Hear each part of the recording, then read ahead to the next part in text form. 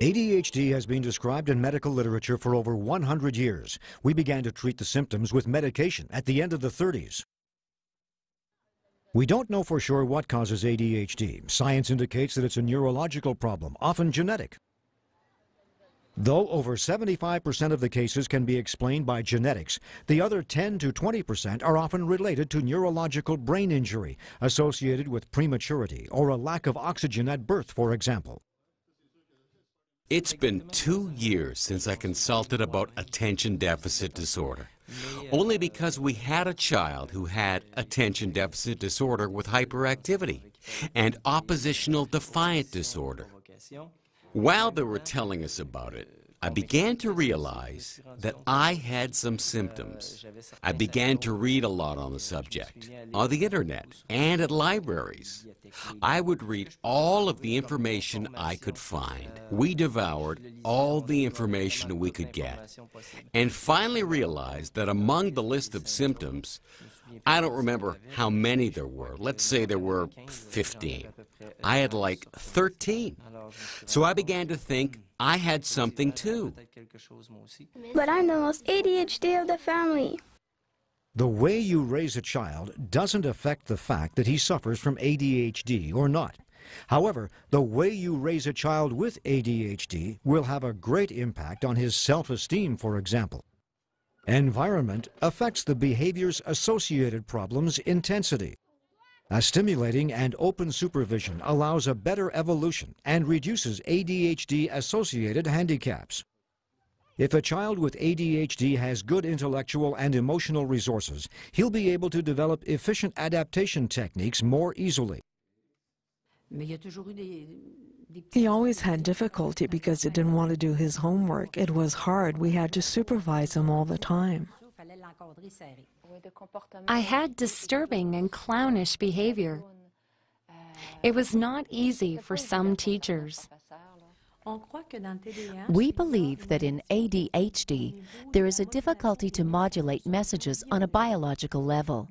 In the human body, there are neurons, which are equivalent to roads where information circulates. At crossroads, or when the information transfers from one neuron to the other, the message goes from electric to biochemical and is modulated by neurotransmitters such as noradrenaline and dopamine. With attention deficit disorder, medication will enhance the noradrenaline and dopamine neurotransmission. That'll reduce attention deficit symptoms intensity. Cerebral imagery is more often used in research. We don't use it to make an attention deficit disorder diagnostic. There are two types of cerebral imagery. There's structural cerebral imagery, where we see the volume and dimension of some brain regions. And there's functional cerebral imagery, where we see brain activity in some regions when the subjects are doing a task, whether it's a motor task or a more cognitive task. Different studies show differences in the brains of people with ADHD and control subjects. While doing a task, there are differences in certain brain regions, such as the size and the activity of those regions. When we look at a brain, that's the front, and there's the back here. Structural cerebral imagery studies show that some regions in the brain, such as the dorsolateral prefrontal cortex here, the cerebellum and some basal nuclei inside the brain are smaller for people with attention deficit disorder than for people who don't have it. At a functional level, these regions in the dorsolateral prefrontal cortex the cerebellum, and another region. Here I am showing you inside the brain, another region we call cingulate gyrus. This region here, plus these two others I just talked about, are less activated when people are doing a cognitive task. There are other regions in the brain that are more activated for people suffering from attention deficit disorder, which would indicate that people suffering from attention deficit disorder are using other strategies to do certain tasks tasks, but those strategies are less efficient.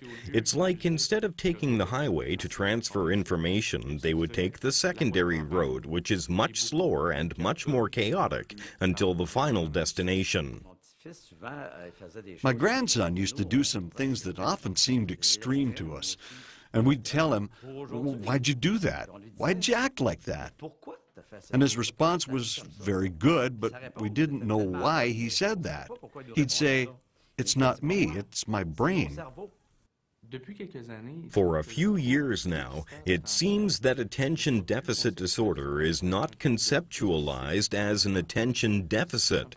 It's more an attention control problem, and not just attention control, but motor function control.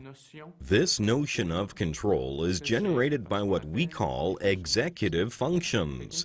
While beginning to do a task, a person who has difficulty to concentrate can have a lot of ideas in their head.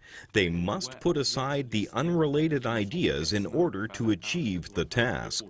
This can be very difficult for someone with attention deficit disorder. The person can begin a task and right in the middle of it, some ideas come into their head, or there's a noise outside that makes them think about something else. Then they can go from one to the other and end up doing something that isn't useful for what they have to do, at work for example. When people with attention deficit disorder have an idea, they don't want to lose it. Therefore, they can have a tendency to interrupt to say their idea in the middle of a conversation. Someone who has difficulty controlling their motor activity will have a hard time to stay calm, to stay put. Anger is one of the hardest emotions to manage for people suffering from attention deficit disorder. They have a tendency to be irritable and to get angry for nothing.